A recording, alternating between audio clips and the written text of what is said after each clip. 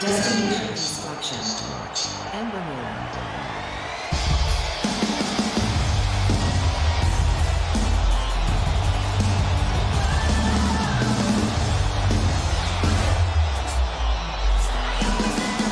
and her tag team partner from Dallas, Texas, Ember Moon.